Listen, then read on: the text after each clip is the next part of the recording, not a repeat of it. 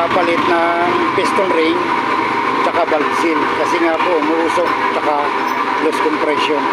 Yun po yung diferensya ng motor. Loss compression tapos umuusok. Cylinder head natanggal na po. Tambutso naman ang tinatanggal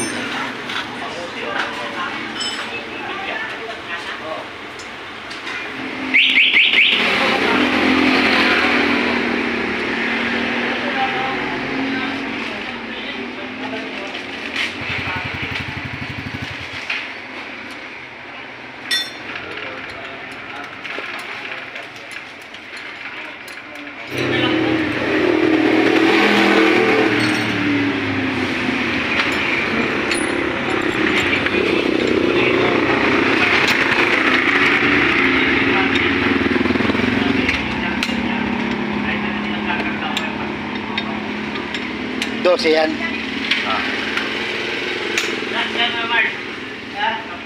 Dose na ulo ng tornilyo. Ang ginamit. Bali apat ang tornilyo niya.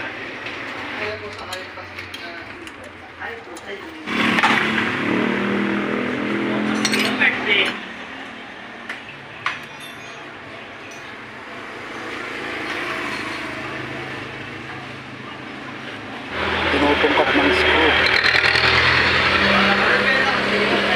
Para umangat.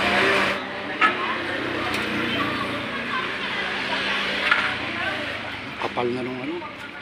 Kapal na nung carbon. Nililinis po yung piston. Ginagrinder yung piston.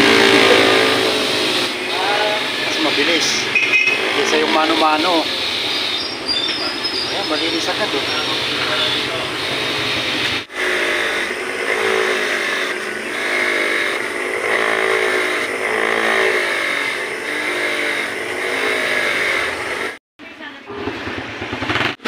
Bago rin yan. Nandiyan bago yun.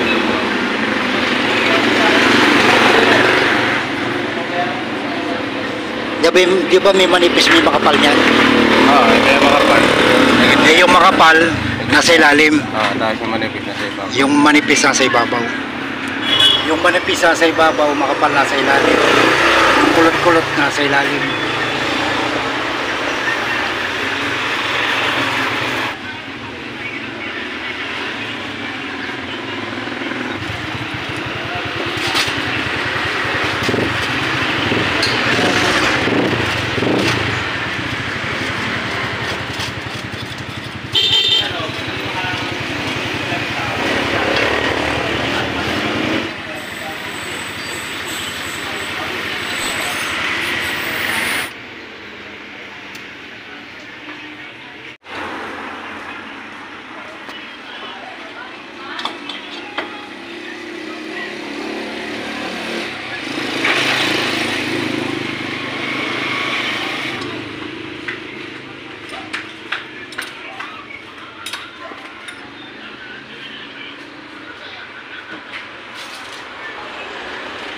Lalagyan po ng sealant.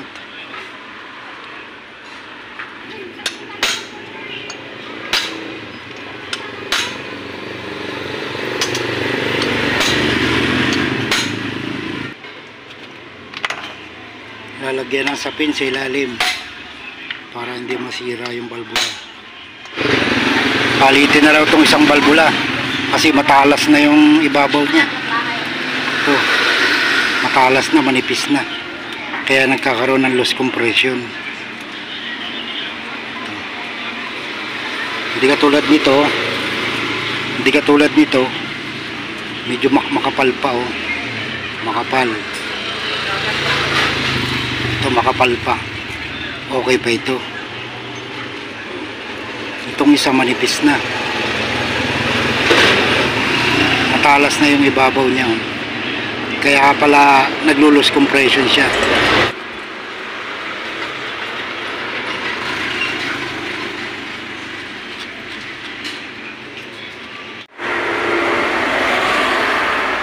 Para sila mag-fit. Kailangan walang singaw kasi yan.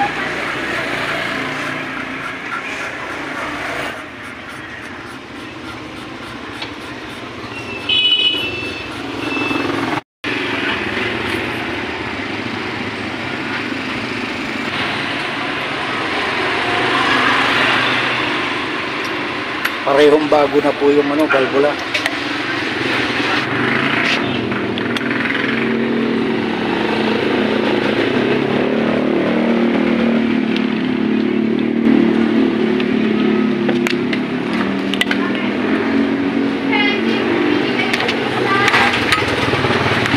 Habang, pinito, siniikot.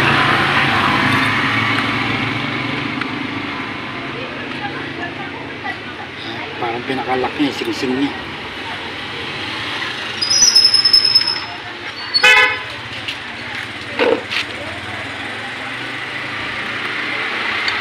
Meron pong special tools para dyan. Lock na.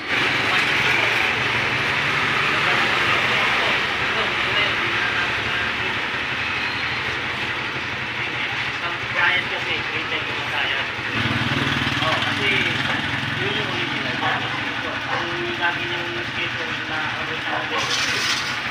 Babalik na po mga tornilyo.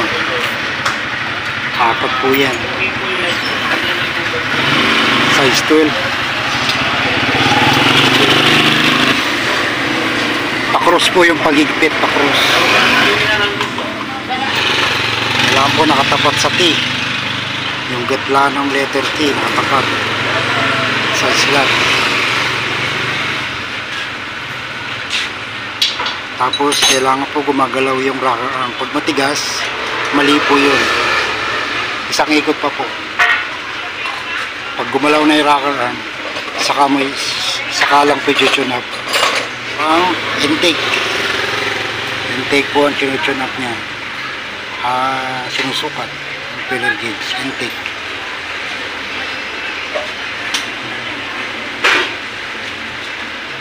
Kailangan po yan, may kagat, may bite, hindi po maluwag, hindi po mahigpit.